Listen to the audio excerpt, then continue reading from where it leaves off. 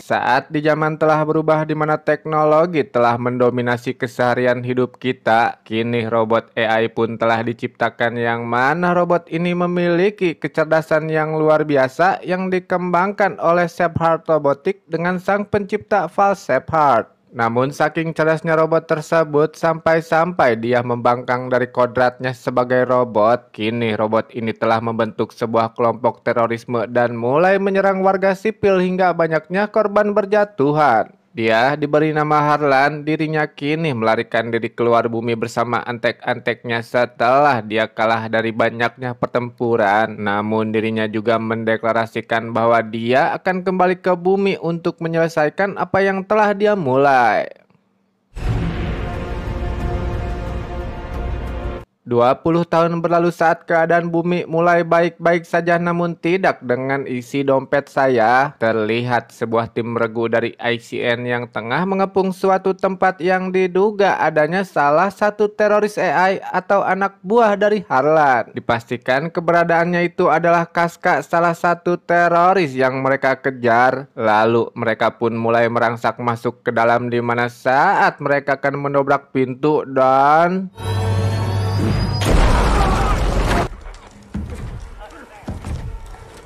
Ya, serangan itu pun terjadi di mana Kaska cukup kuat sebagai robot yang mana dia juga menghabisi beberapa pasukan ICN dengan mudahnya. Namun saat Kaska akan menghadapi beberapa pasukan di bawah, Kaska berhasil dilumpuhkan dengan sebuah alat canggih yang membuatnya kejang-kejang tak berdaya.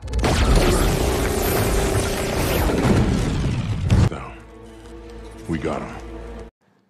Saat pagi tiba, kita akan diperkenalkan dengan seorang perempuan yang bernama Atlas, di mana Atlas adalah anak dari sang pencipta Harlan yang tentunya dia juga cukup banyak mengetahui tentang Harlan. Mendapatkan kabar tertangkapnya Kaska melalui berita di televisi, Atlas cukup dibuat terkejut di mana kini Atlas bergegas mempersiapkan dirinya untuk menuju kantor KBI yang mana saat dirinya keluar dari pintu terlihat seorang perwira yang menjemputnya untuk menuju kantor KBI. Perwira itu diutus oleh sang komandan yang mana sang komandan mempercayai Atlas untuk mencari info keberadaan Harlan melalui Kaska. Namun justru sang kolonel meragukan kualitas Atlas di mana dari beberapa catatan hasil tes terakhir Atlas dirinya mendapatkan hasil yang kurang baik. Namun sang komandan yang begitu yakin dan percaya kini dirinya membawa Atlas ke tempat di mana sang robot Kaska berada. Lalu Atlas mulai masuk dan mulai membuka kotak yang berisikan kepala Kaska. Atlas mulai berbicara dan memberikan sentuhan tegangan listrik melalui biji catur yang ia bawa. This is my lawyer. Not my. Terlihat Atlas mulai meretas otak dari Kaska untuk mendapatkan informasi keberadaan Harlan yang mana dia juga mengalihkan pikiran Kaska melalui pertanyaan-pertanyaan bodoh seperti apa warna rambutku. Case you can't die. Ya, pertanyaan bodoh itu pun mampu membuat Kaska terkecoh di mana Atlas berhasil mendapatkan titik koordinat keberadaan Harlan saat ini. Kaska yang tak terima sistemnya diretas dia mengeluarkan senjata yang tersembunyi di balik cungurnya. Yang senjata tersebut hampir saja membunuh Atlas jika tempat interogasi tersebut tidak dilengkapi dengan sistem keamanan yang canggih. Namun karena Kaska yang terlalu banyak bicara bahkan menyinggung tentang sang ibu yang telah lama tiada, Kaska berakhir tewas dengan hanya menempelkan magnet dari biji catur yang membuatnya amburadul mata ocot dan oli yang berceceran.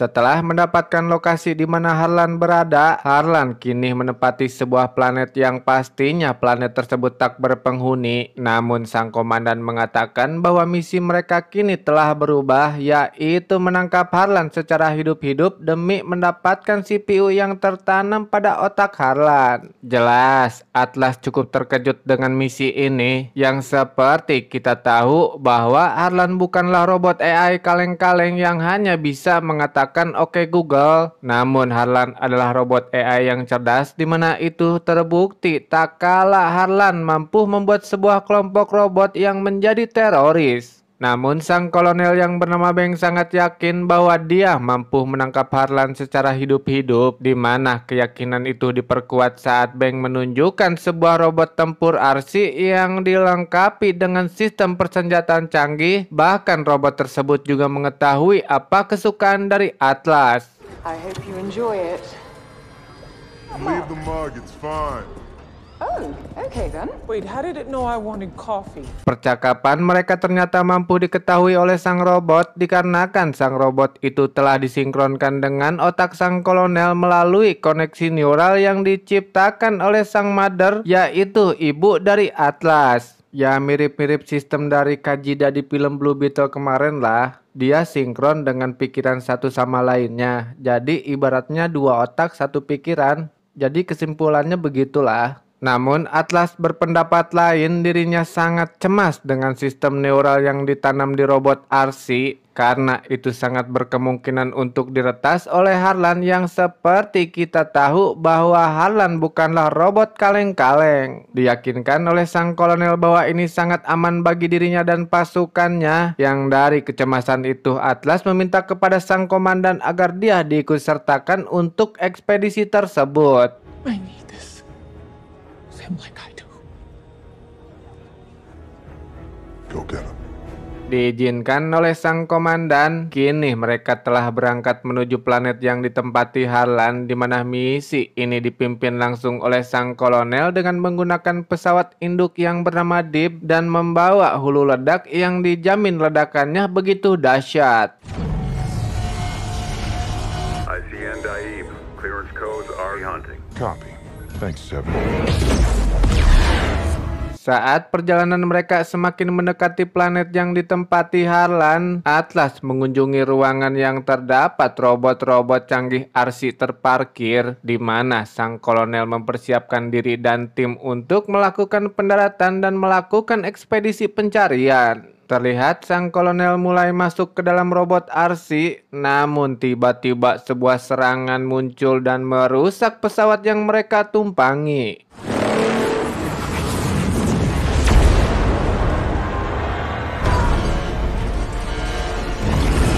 Terlihat pesawat ini akan jatuh di mana Atlas yang dalam keadaan darurat pun dimasukkan ke dalam robot RC oleh sang kolonel hingga akhirnya keadaan memaksa mereka harus keluar dari pesawat demi menjaga keselamatan mereka. Namun ternyata serangan itu tak sampai di sini. Terlihat serangan semakin membagong buta tak kala mereka yang terombang-ambing di udara harus mendapatkan serangan bertubi-tubi dari robot-robot Made in Harlan. Namun Atlas tidak bisa mengendalikan robot RC miliknya di mana dirinya hampir tewas saat dia akan bertabrakan dengan pesawat induk Deep. Namun beruntungnya dia saat salah satu prajurit dengan sigap menyelamatkannya. Oh god.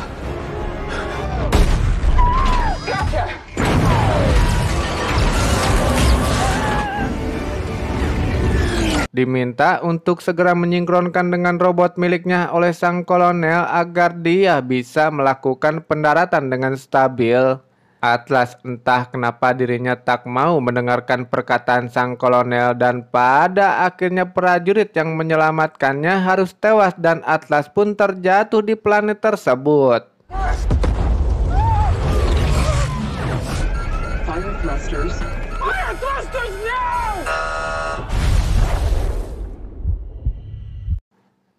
Berhasil selamat dan terlihat masih empesan, Atlas mencoba menghubungi para ranger atau sang kolonel di mana tak ada respon satupun dari mereka. Yang kemungkinan hanya dia yang tersisa hidup saat ini. Lalu dia pun mencoba mengaktifkan sistem pada robot tersebut Lalu muncullah sebuah sistem yang bernama Smith di mana dia meminta Atlas untuk melakukan sinkronisasi antara mereka berdua demi kemudahan sang sistem untuk membaca tentang pikiran Atlas. Namun Atlas menolak itu di mana dia meminta Smith menunjukkan lokasi kapsul evakuasi dan sistem itu pun menunjukkan titik keberadaan kapsul tersebut yang berjarak 9 km dari tempat mereka terjatuh saat ini. Menuju lokasi tersebut dengan berjalan kaki demi menjaga keselamatan Atlas. Smith menunjukkan koleksi persenjataan yang terpasang pada robot tersebut yang mana robot itu sangat canggih. Sampai-sampai ditanami bom ion tunggal jika sewaktu-waktu sangat diperlukan untuk menghancurkan musuh yang menyerang mereka. 89.3 kilometers to the rescue pod.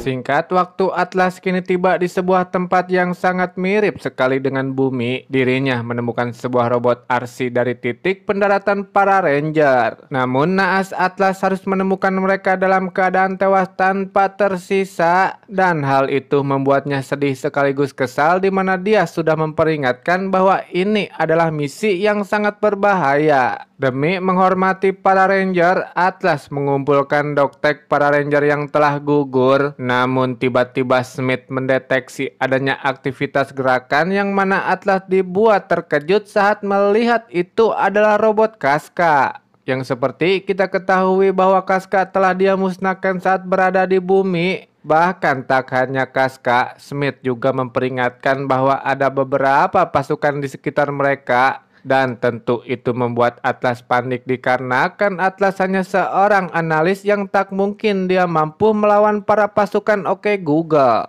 Mencoba melarikan diri Atlas harus terjatuh dan itu diketahui oleh Kaska hingga akhirnya dia pun diberondol tembakan oleh Kaska dan para pasukannya.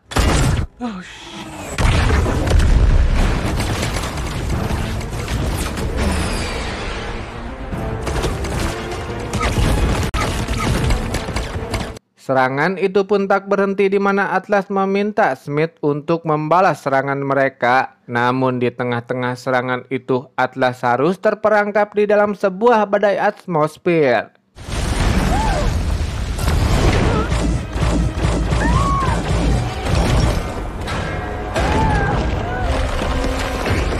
Terlempar dari badai tersebut, Atlas kembali mendapatkan serangan bertubi-tubi yang mana Atlas meminta Smith untuk mengeluarkan bom ion meski Smith mengatakan itu tidak disarankan. Namun Atlas tetap meminta Smith untuk segera mengeluarkan bom itu dan...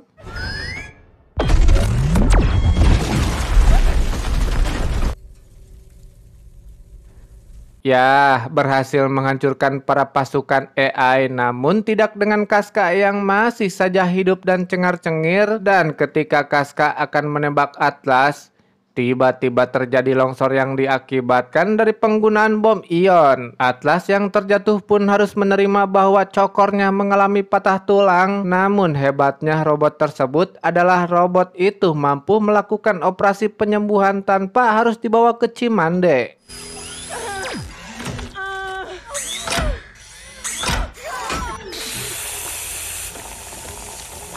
Setelah melakukan operasi pada kaki Atlas, Smith meminta Atlas agar segera melakukan sinkronisasi dengannya, di mana itu dilakukan demi menjaga persentase peluang hidup dari Atlas. Dengan sangat terpaksa, Atlas akhirnya melakukan sinkronisasi dengan Smith, di mana saat sinkronisasi tengah dilakukan, beberapa fitur canggih yang dimiliki Smith pun muncul dan itu langsung dirasakan melalui pikiran Atlas. Setelah memperhitungkan jarak dari mereka terjerumus yaitu sekitar 152 meter menuju dasar permukaan, Atlas memutuskan untuk menggunakan tenaga pendorong agar mereka bisa keluar dari lubang tersebut. Berhasil sampai di dasar permukaan, terlihat robot Oke Google yang tak lain yaitu Kaska. Dia masih saja tetap hidup di mana dirinya berhasil melacak keberadaan Atlas yang menggunakan tenaga pendorong. Saat Atlas tengah berjalan di tengah-tengah tebing yang curam, Smith kembali mendeteksi keberadaan robot AI yang tak lain ialah Kaska.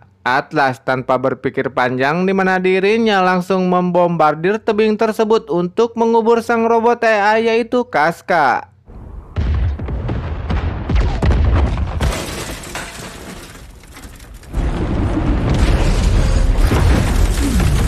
Memeriksa keadaannya untuk memastikan apakah Kaska masih tetap hidup. Dan ternyata untuk kali ini Kaska tersisa hanya potongan kepalanya dan untuk yang kedua kalinya Atlas berhasil menghancurkan kepala Kaska dan membuatnya amburadul. Dari pecahan kepala Kaska itulah Atlas menemukan pemancar jarak dekat yang artinya Harlan berada di sekitar sana. Yang mana Smith melacak keberadaannya Smith meminta untuk menjauh dari Harlan di mana Smith meminta Atlas untuk tetap menuju kapsul evakuasi. Smith juga mengatakan itu sangat berbahaya baginya mengingat sinkronisasi yang Atlas lakukan tidak mencapai 100%.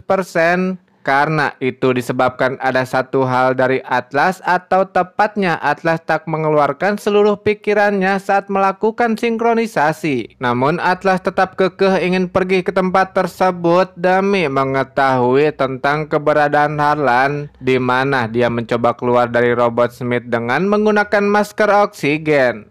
Namun tanpa disangka Smith mampu menahan gerakan tangan Atlas melalui koneksi neural yang sudah terhubung ke pikirannya dan saat itulah Smith yang masuk lebih dalam di pikiran Atlas kita akan diperlihatkan sekilas memori di mana Harlan mengendalikan pikiran sang ibu saat dirinya masih kecil. Namun yang dirasakan Smith Atlas bukanlah merasakan kesedihan, melainkan dirinya merasakan rasa bersalah yang begitu besar. Lalu Atlas mengatakan jika kita tidak menandai titik koordinat dari Harlan, maka semua ranger yang gugur mereka hanya mati dengan sia-sia. Atlas juga mengatakan maka perjuangannya menganalisis Harlan selama bertahun-tahun menjadi terbuang percuma. Maka dari itu jalankan algoritmamu dan ikuti perintahku. Dari situlah Smith setuju untuk menuju tempat Harlan berada di mana tempat itu memang tak jauh dari lokasi mereka saat ini.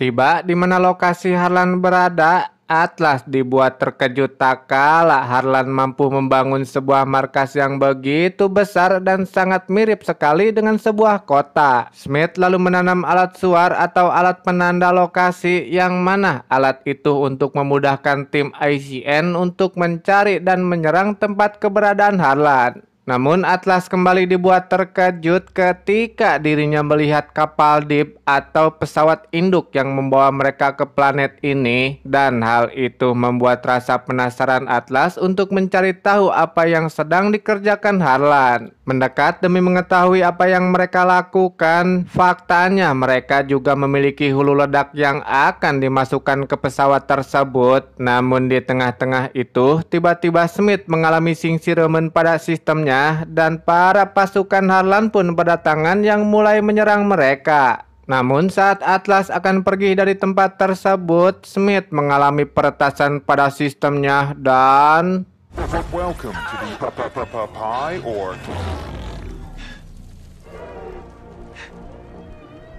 Ya, si robot Oke Google muncul kembali yang ketiga kalinya dan kini dia berhasil menangkap Atlas. Sedangkan di bumi sendiri sang komandan mendapatkan pesan dari Atlas di mana sang komandan cukup terkejut bahwa dia mendapatkan kabar dari para rangernya yang telah habis tak tersisa. Bahkan dia juga mengatakan seharusnya pesawat Deep akan segera mati dalam waktu 30 menit. Jelas sangat mengherankan dengan kondisi ini yang mana pesawat Deep yang membawa hulu ledak dengan ledakan yang sangat dahsyat bisa menghancurkan separuh bumi termasuk Jawa Barat dan sekitarnya. Andai jika pesawat tip dan hulu ledak itu jatuh ke tangan Harlan, maka sudah dipastikan ini akan sangat mengancam bagi warga bumi. Banyakin istighfar ya guys, takutnya bener itu hulu ledak jatuh di Pulau Jawa, kan repot kita nanti. Dengan kondisi ini, sang komandan meminta para pasukannya untuk bersiaga. Andai jika hal-hal yang tidak diinginkan ini segera terjadi. Sedangkan Atlas yang berhasil ditangkap oleh Harlan, kita akan mengetahui alasan di balik peperangan ini terjadi, di mana Harlan ingin memusnahkan mayoritas manusia yang menurutnya sudah banyak melakukan kerusakan terhadap bumi, di mana dia akan kembali menciptakan tatanan dunia baru dengan manusia-manusia yang tersisa dan melahirkan generasi baru. Di mana mereka akan dipandu oleh rekan baru mereka yaitu Sunda Empire. Eh, maksudnya robot AI. Tentu pemikiran cerdas itu tidak bisa diterima dengan akal sehat karena tentunya menciptakan populasi baru dengan memusnahkan sebagian umat manusia tentu akan banyak menelan korban dari orang-orang tak berdosa seperti saya. Namun yang lebih mengejutkannya lagi bahwa ini semua sudah disetting oleh Harlan. Tak kala kedatangan Atlas memang sudah sangat dinantikan oleh Harlan. Ya, artinya Halan yang sudah mengetahui jalan pikiran Atlas bahwa ini adalah rekayasa Halan di mana dia mengundang mereka untuk datang ke sini melalui robot Kaska yang pertama mereka tangkap. Itu adalah robot yang Harlan kirim untuk memberikan titik lokasi Harlan. Di mana sebetulnya Harlan mengincar pesawat Deep dan hulu ledak yang mereka bawa. Itu dikarenakan Harlan cukup kesulitan untuk menembus sistem keamanan yang dibangun oleh Atlas. Namun sistem itu bisa dihancurkan melalui pesawat Deep yang berisikan hulu ledak dengan menggunakan kode yang tepat. Ya, kode itu berada pada lensa mata Atlas dan satu lagi ada pada lensa mata Sang Mayor. Kini Harlan pun mencoba mengambil kode tersisa di mana Harlan telah mendapatkan semuanya. Harlan segera pergi untuk mengaktifkan hulu ledak tersebut dan mengirimkannya ke bumi melalui jasa ekspedisi Lion Parcel. Me. Goodbye.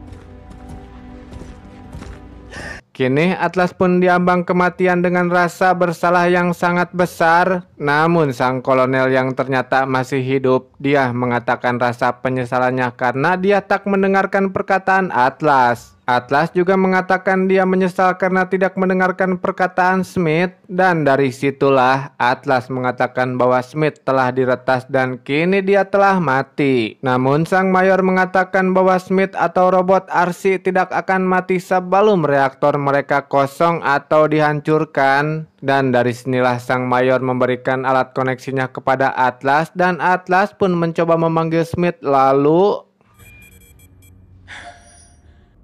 Smith!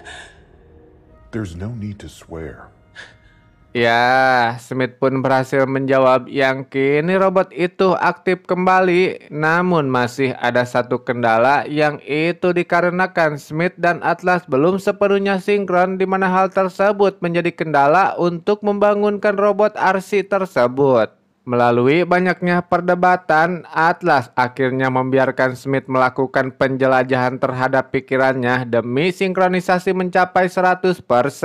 Dari sinilah kita melihat awal mula bencana ini tercipta di mana itu dikarenakan Atlas yang cemburu dengan Harlan yang mendapatkan perhatian lebih dari sang ibu. Sebetulnya Harlan adalah teman dan orang yang mengajarinya bermain catur di kala dia kecil. Namun kecemburuan besar terhadapnya membawanya kepada malapetaka besar yang kini menimpa dia dan umat manusia. Dan pada suatu ketika Atlas memohon kepada Harlan agar koneksi dua arah itu terhubung kepadanya. Lalu Harlan meminta Atlas untuk menggunakan konektor milik sang ibu. Tentu hal itu harus dilakukan untuk melakukan sinkronisasi dirinya dengan Atlas. Dan saat Atlas kecil menggunakan konektor tersebut, Harlan secara langsung melihat semua tentang pikiran dari Atlas yang mana Harlan melihat indah dan buruknya bumi. Namun sesuatu yang mengejutkannya adalah Harlan mampu memprogram ulang sistem neural yang membuatnya mampu mengendalikan sang ibu. Artinya Harlan kini adalah robot dengan sistem tunggal bahkan dialah yang mengendalikan sistem dua arah dengan sang ibu. Dan dari penglihatan tentang keburukan dari umat manusia yang membuang runtah sembarangan pengerusakan lingkungan Harlan kini akan menghabisi separuh manusia di mana saat Harlan mengendalikan sang ibu untuk melakukan bunuh diri sang ibu memerintahkan Atlas untuk berlari keluar dari lab tersebut. Lalu Ya, dari sinilah Atlas selalu merasa bersalah di mana ingatan ini juga yang menghambat Smith untuk melakukan sinkronisasi. Setelah dibujuk Smith dan diyakinkan bahwa dia adalah robot terbaik yang patuh terhadap tuannya, Atlas akhirnya mengizinkan Smith untuk melakukan sinkronisasi sepenuhnya terhadap dirinya.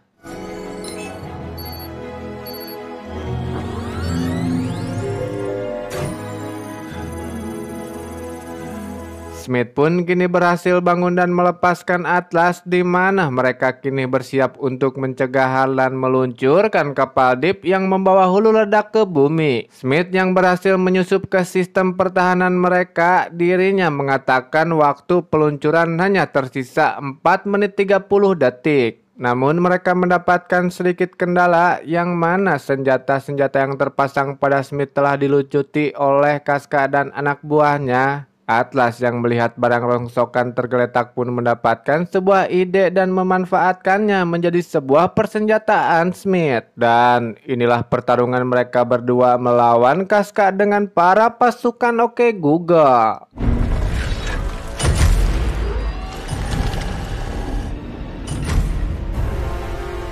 Thrusters.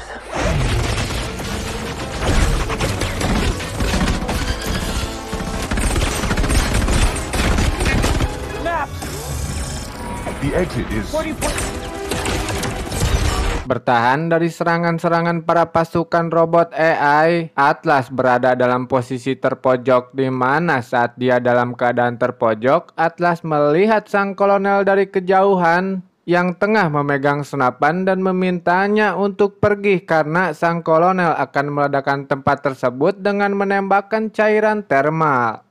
Tak ada pilihan lain bagi Atlas selain meninggalkan sang kolonel yang akan mati sahid. Lalu sang kolonel pun menghancurkan tempat tersebut dan...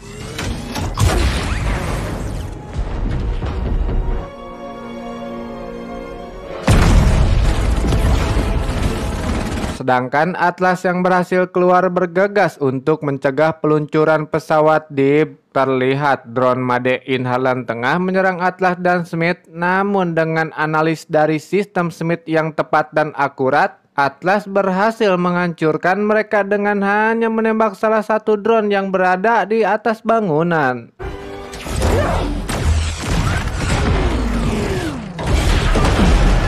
Semua pasukan pun berhasil Atlas hancurkan, namun tiba-tiba muncullah Harlan bersamaan dengan pesawat Deep yang lepas landas menuju planet bumi. Dalam keadaan terpojok itu, Atlas harus berpikir cepat untuk mencegah pesawat Deep, di mana Atlas meminta Smith untuk meretah sistem dari hulu ledak demi mencegah terjadinya ledakan di planet tersebut yang bisa menghancurkan atmosfer dan membunuh mereka semua. Di tengah-tengah Smith yang meretah sistem tersebut, Atlas menemukan sebuah senjata yang tergeletak. Lalu dirinya mengambil senjata tersebut dan memasangkannya ke dalam tubuh Smith dan saat peretasan hampir selesai, Atlas pun lalu menembak pesawat tersebut dan... Atlas, no!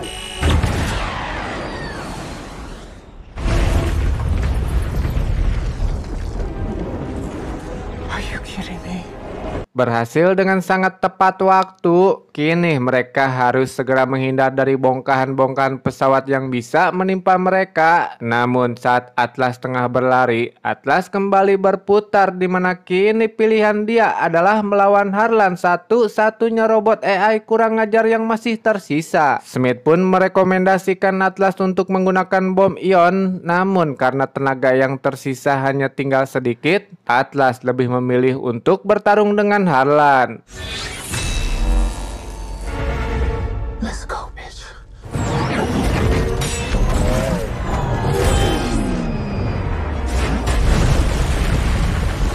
Terjadi pertarungan di tengah-tengah tumpahan larva. Harlan cukup mudah mengiris-ngiris robot Smith menjadi beberapa bagian dengan pedang miliknya yang begitu tajam.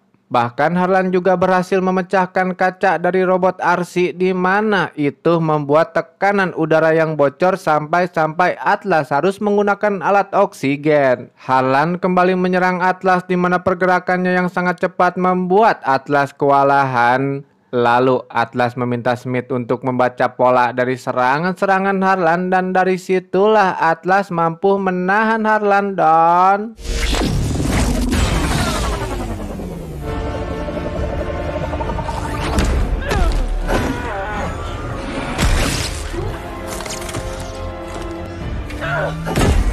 Namun ternyata Harlan mampu menyambungkan tangannya kembali seperti cak-cak. Di mana dia menyerang Atlas sampai-sampai Atlas tak sadarkan diri, bahkan dinyatakan telah tewas saat alat pendeteksi detak jantung tak menemukan tanda-tanda kehidupan dari Atlas. Activate defibrillator. Namun Smith mencoba menyelamatkan nyawa Atlas dengan cara memberikan efek kejut dari tenaga listrik di mana dia benar-benar memenuhi janjinya sebagai robot yang patuh terhadap manusia tak kala dia melindungi Atlas meski dirinya mendapatkan serangan-serangan dari Harlan. Harlan pun mematikan Smith dengan menghancurkan baterai yang tertanam pada robot RC dan saat Harlan akan menghabisi Atlas yang tengah tergeletak,